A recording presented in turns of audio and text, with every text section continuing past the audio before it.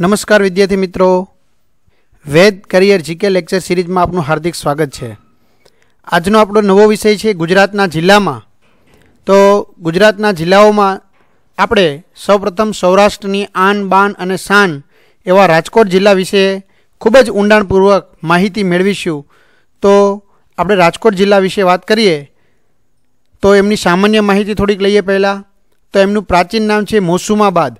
ખાસ યાદ રાખશું મિત્રો એમનું. પ્રાચીન નામ છે તો એમનું પ્રાચીન નામ કયું છે તો મોસુમાબાદ છે. કઈ રીતે મોસુમાબાદ પડ્યું, જે આપણે આગળ ચર્ચા કરીએ. એમનું મુખ્ય મથક રાજકોટ શહેર પોતે જ છે. આરટીઓ, જે જીજે જીરો થ્રી એટલે કે જીજે થ્રી નંબર લાગે છે.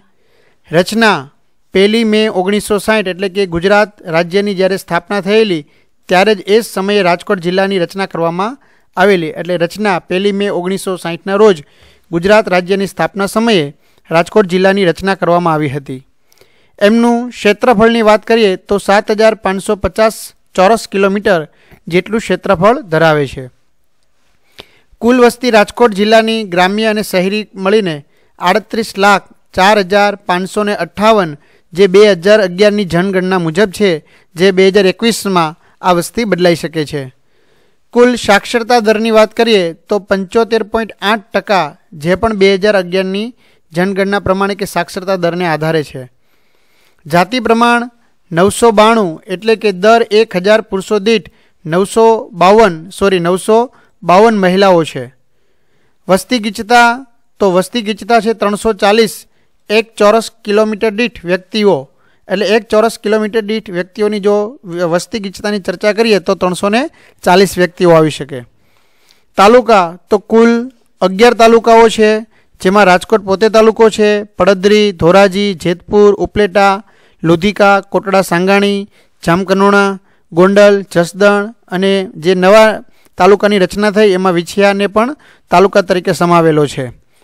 અને રાજકોટને કયા કયા જિલ્લાની સીમા લાગુ પડે છે, તો પૂર્વમાં ભાવનગર જિલ્લો, દક્ષિણમાં અમરેલી અને જૂનાગઢ જિલ્લો, પશ્ચિમમાં જામનગર અને પોરબંદર, ઉત્તરે મોરબી અને સુરેન્દ્રનગર જિલ્લા, જે આપણે હમણાં ચિત્રવાઇઝ જોઈએ. તો મિત્રો, કુલ અગિયાર તાલુકામાં પ્રથમ પડધરી તાલુકો, બીજો છે રાજકોટ તાલુકો, ત્રીજો છે લોધિકા તાલુકો, ચોથો છે જામકરોણા તાલુકો, પાંચમો ઉપલેટા, છઠ્ઠો ધોરાજી, સાતમો જેતપુર, આઠમો ગોંડલ, નવમો કોટડા સાંગાણી, દસમો જસદણ અને અગિયારમો જે નવરચિત છે, જે વિછિયા તાલુકો છે. અને કયા કયા જિલ્લાની સરહદ લાગુ પડે છે? તો એમાં પ્રથમ મોરબી જિલ્લો, બીજો જામનગર જિલ્લો, અહીં પોરબંદર જિલ્લાની પણ સરહદ લાગુ પડે છે. ચોથો જૂનાગઢ જિલ્લો, પાંચમો અમરેલી જિલ્લો, છઠ્ઠો બોટાદ જિલ્લો અને સાતમો સુરેન્દ્રનગર જિલ્લો. તો આમ સાત જિલ્લાની સરહદ લાગુ પડે છે. મિત્રો, અગાઉની પરીક્ષામાં પણ આ પ્રશ્ન પૂછાયેલો છે કે મોરબી જિલ્લાને કયા કયા જિલ્લાની સરહદ સંકળાયેલી છે, તો આવી રીતે કોઈપણ જિલ્લો હોય તેને આજુબાજુ કેટલા જિલ્લાઓ સંકળાયેલા છે, તો એ ઘણીવાર પરીક્ષામાં પૂછાતું હોય છે. તો અહીંયા આપણે રાજકોટ જિલ્લો હાલમાં ભણી રહ્યા છીએ. આ સિવાય આપણે તેત્રીસે તેત્રીસ જિલ્લાઓ વિગતવાર ભણવાના છીએ. પણ પ્રથમ આપણે રાજકોટ લીધો, તો રાજકોટને આમ સાત જિલ્લાઓની સરહદ લાગુ પડે છે. ભૂગોળ એટલે કે એમની નદીઓ વિશે વાત કરીએ, તો ભાદર નદી જે સૌરાષ્ટ્રની મુખ્ય નદીઓ ગણી શકાય. આ સિવાય બીજી ગોંડલી, ત્રીજી મોજ ચોથી રાજકોટ જિલ્લાને માંથી પસાર થતી આજી, પાંચમી ઘેલા, છઠ્ઠી ફફળ, સાતમી વેમું, આઠમી મચ્છુ, નવમી ડેમી, દસમી ઉતાવળી, અગિયારમી સેતુદળ અને બારમી કોંડી. તો આમ મુખ્ય બાર નદીઓ આવેલી છે. નદી કિનારે વસેલા શહેરની વાત કરીએ, તો ધોરાજી, ઉપલેટા, જસદણ અને જેતપુર જે મુખ્ય શહેરો છે, જે મુખ્ય ચાર તાલુકાઓ છે, જે ભાદર નદી કિનારે વસેલા છે. કોટડા સાંગાણી જે તાલુકો છે અને ગોંડલ પણ તાલુકો છે, જે ગોંડલી નદી કિનારે વસેલા છે. રાજકોટ એ આજી નદી કિનારે વસેલું શહેર છે. ઘેલા સોમનાથ એ ઘેલા નદી કિનારે વસેલું છે. સિંચાઈ યોજનાની વાત કરીએ, તો ભાદર બંધ, ભાદર નદી પર ગોમટા ગામ પાસે બંધ બાંધવામાં આવ્યો છે. ભાદર બંધ, ભાદર નદી પર ગોમટા ગામ પાસે બંધ બાંધવામાં આવ્યો છે. પાકની વાત કરીએ તો મુખ્ય પાકમાં મગફળી, બાજરી, કપાસ, શેરડી, ડાંગર, ઘઉં, જુવાર, ડુંગળી જેવા મુખ્ય પાક લેવામાં આવે છે.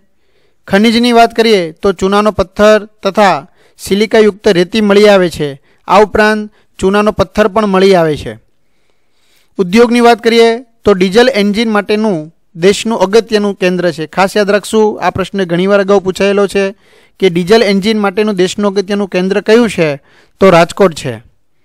રાષ્ટ્રીય ધોરીમાર્ગની વાત કરીએ, તો રાષ્ટ્રીય ધોરીમાર્ગ નંબર આઠ બી, કે જેમને પાછળથી નવો નંબર સત્યાવીસ આપવામાં આવેલો છે, જે રાજકોટમાંથી પસાર થાય છે. અભયારણ્યની વાત કરીએ, તો હિંગોળગઢ પ્રાકૃતિક શિક્ષણ અભયારણ્ય આવેલું છે, કે જે જસદણ તાલુકામાં આવેલું છે. તો એક જ અભયારણ્ય આવેલું છે, હિંગોળગઢ પ્રાકૃતિક શિક્ષણ અભયારણ્ય જે જસદણ તાલુકામાં આવેલું છે.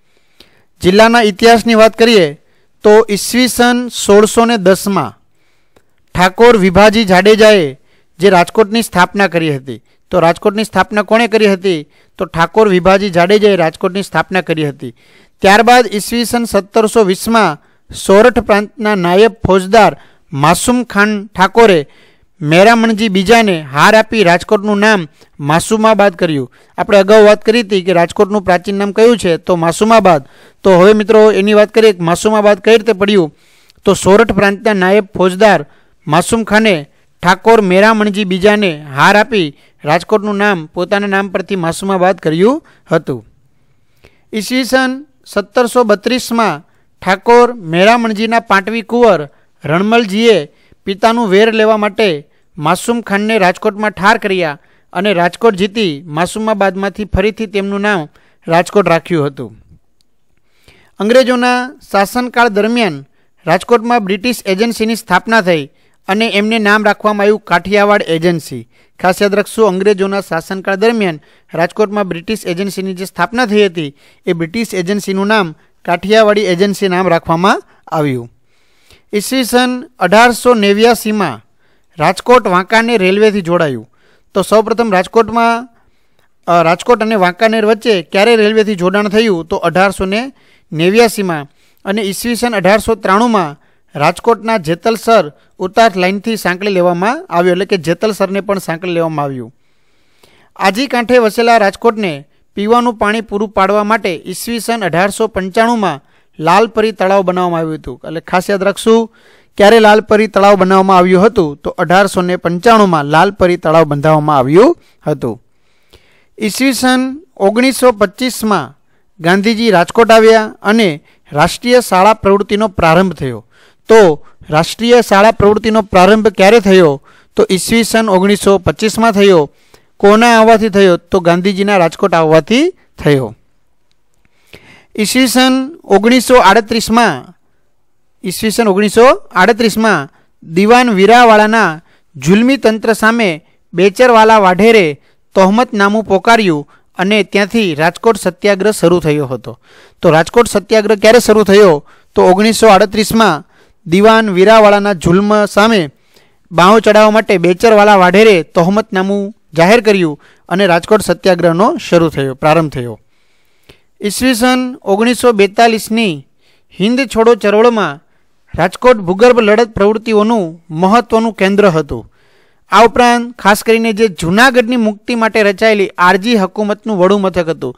તો અગાઉની પરીક્ષામાં ઘણીવાર પૂછાયેલું છે કે જૂનાગઢની મુક્તિ માટે રચાયેલું આરજી હકુમતનું વડું મથક ક્યાં આવેલું છે? તો રાજકોટમાં અથવા તો જૂનાગઢ મુક્તિ માટે રાજકોટમાં કયું વડું મથક અથવા કયા હકુમતની સ્થાપના થઈ હતી?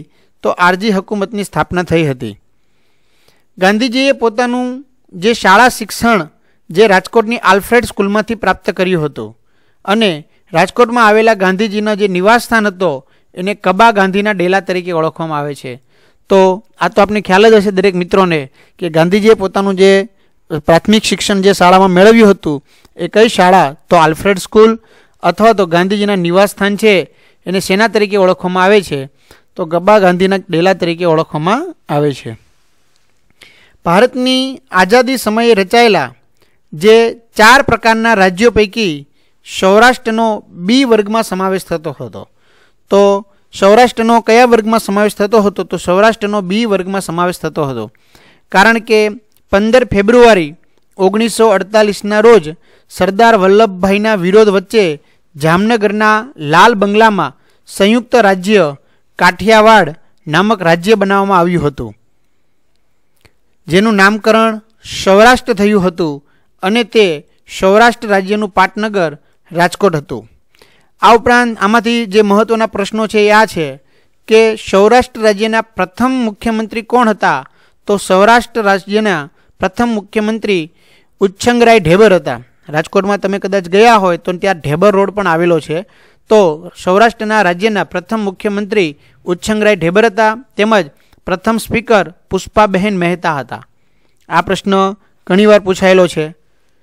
વર્ષ બે હજાર તેરમાં રચાયેલા જે નવા સાત જિલ્લાઓ છે, એ સાત જિલ્લાઓ પૈકી મોરબી જિલ્લાને રાજકોટ, જામનગર અને સુરેન્દ્રનગરમાંથી બનાવવામાં આવેલો છે. તો મોરબી જિલ્લો છે, મેં તમને અગાઉ વાત કરી હતી, મોરબી જિલ્લાને કયા કયા જિલ્લાની સરહદ સ્પર્શમાં છે? તો એવો પ્રશ્ન પરીક્ષામાં પૂછાતો હોય છે. તો આ મોરબી જિલ્લાનું નિર્માણ કયા જિલ્લામાંથી થયું છે? તો એની સરહદો જે સ્પર્શ કરતી હોય એના પરથી આપણે સરળતાથી યાદ રહી જાય કે રાજકોટ, જામનગર અને સુરેન્દ્રનગરમાંથી આ મોરબી જિલ્લાનું નિર્માણ થયું છે. જસદણ તાલુકામાં જે ઘેલો નદી છે, એ ઘેલો નદીના કિનારે ઘેલા સોમનાથ તીર્થ સ્થળ આવેલું છે. હવે ઇતિહાસ અને લોકવાયકા એવું કંઈક કહે છે કે ગુજરાતમાં મુસ્લિમ શાસનની જ્યારે આણ પ્રવૃત્તિ હતી, એટલે કે મુસ્લિમ શાસન જ્યારે હતું, ત્યારે જૂનાગઢમાં રામે સંઘના કુંવર મહિપાલનું શાસન ચાલતું હતું. ખાસ યાદ રાખશું, જૂનાગઢમાં કોનું શાસન ચાલતું હતું? રામે સંઘના કુંવર મહિપાલનું શાસન ચાલતું હતું અને રા મહિપાલના પુત્રી એવા મિનળ દેવીને શિવ પર અનન્ય અતૂટ શ્રદ્ધા હતી. હવે જ્યારે મુસ્લિમ શાસકોના સૈનિકોની મિનળ દેવી પર નજર પડી, ત્યારે મિનળ દેવીએ પકડાઈ જવા કરતાં ઘેલા સોમનાથની સામે જે ટેકરી છે એ ટેકરી પર સમાધિ લીધી હતી. તો ત્યારથી ત્યાં ઘેલા સોમનાથ એક પવિત્ર સ્થળ તરીકે જોવાલાયક છે. હાલમાં ઘેલા સોમનાથની સામે ટેકરી પર મિનળ દેવીની નાની ડેરી પણ આવેલી છે. આ જિલ્લાની ભૂગોળની વાત કરીએ તો સર આલ્ફ્રેડ હાઈસ્કૂલ આવેલી છે, કબા ગાંધીનો ડેલો આવેલો છે, રાજકુમાર કોલેજ આવેલી છે, આજી ડેમ, રેસકોસ વૃક્ષ મંદિર રામકૃષ્ણ પરમહંસ મંદિર ઢીંગલી મ્યુઝિયમ, હેમુ ગઢવી નાટ્યગૃહ, વોટસન સંગ્રહાલય, આ ઉપરાંત પેંડા, ચીકી અને ફરસાણ માટે રાજકોટ ખૂબ જ જાણીતું છે. તો આ રાજકોટના જોવાલાયક સ્થળો હતા. હવે રાજકોટના જે તાલુકાઓ જે મુખ્ય છે તે એની વાત કરીએ તો એમાંથી ગોંડલ. તો ગોંડલના મહારાજા ભગવતસિંહજીએ નવ ખંડના વિશાળ ભગવત ગોમંડળ શબ્દકોશની રચના કરી હતી. ખાસ યાદ રાખશું, ભગવત ગોમંડળ શબ્દકોશની રચના કોણે કરી હતી તો ગોંડલના મહારાજા એવા ભગવતસિંહજીએ કરી હતી. જે ભગવત ગોમંડળ કોણે તૈયાર કર્યું હતું, ખાસ યાદ રાખજો, કોણે તૈયાર કર્યું હતું, તો ચંદુભાઈ બહેચરભાઈ પટેલે તૈયાર કર્યું હતું. મહારાજા ભગવતસિંહજી પોતાને રાજા નહીં, પરંતુ પ્રજાને ટ્રસ્ટી ગણાવતા હતા. તો એવા કયા રાજા છે કે જે પોતાને રાજા નહીં, પરંતુ પ્રજાના ટ્રસ્ટી ગણાવતા હતા, તો ત્યારે આપણે જવાબ ટીક કરી શકાય કે મહારાજા ભગવતસિંહજી એ પોતાને રાજા નહીં, પરંતુ પ્રજાના ટ્રસ્ટી ગણાવતા હતા. ગોંડલમાં આવેલો નવલખા દરબારગઢ, જે ખૂબ જ ભવ્ય છે, આ ઉપરાંત આ જે નવલખા દરબારગઢ છે, એ ફિલ્મોના શૂટિંગ માટે પણ ખૂબ જ જાણીતો છે. ગોંડલમાં આ ઉપરાંત ભુવનેશ્વરી શક્તિપીઠ આવેલી છે. વીરપુર તો વીરપુરની વાત કરીએ તો વીરપુર સંત જલારામ બાપાનો આશ્રમ આવેલો છે. અને સંત જલારામ બાપાએ ભોજા ભગત કે જે સાવલિયા કુળના પરિવારના છે, તો ભોજા ભગતને પોતાના ગુરુ બનાવ્યા હતા અને વીસ વર્ષની નાની વયે જે ભૂખ્યા લોકોની આંતરડી ઠારવા માટે સદાવ્રત ચલાવતા હતા. વિનામૂલ્ય ભોજન આપવાનું શરૂ કર્યું હતું માત્ર વીસ વર્ષની નાની વયે, જે આજની તારીખમાં પણ શરૂ છે. સંત જલારામ બાપાના પત્નીનું નામ વીરબાઈ છે. સંત જલારામ બાપાના પત્નીનું નામ વીરબાઈ છે. મહત્ત્વની સંસ્થાઓની વાત કરીએ તો સૌરાષ્ટ્ર યુનિવર્સિટી જે રાજકોટમાં આવેલી છે આરકે યુનિવર્સિટી રાજકોટમાં આવેલી છે, મારવાડી યુનિવર્સિટી જે રાજકોટમાં આવેલી છે. તો મિત્રો, આ રાજકોટ જિલ્લામાં આપણે આટલું રાખીએ. આ ઉપરાંત આપણે તમામ જિલ્લાઓ વિશે ખૂબ જ ઊંડાણપૂર્વક માહિતી મેળવીશું. તો આ વીડિયો લેક્ચરમાં આટલું રાખીશું. જય હિન્દ, જય ભારત.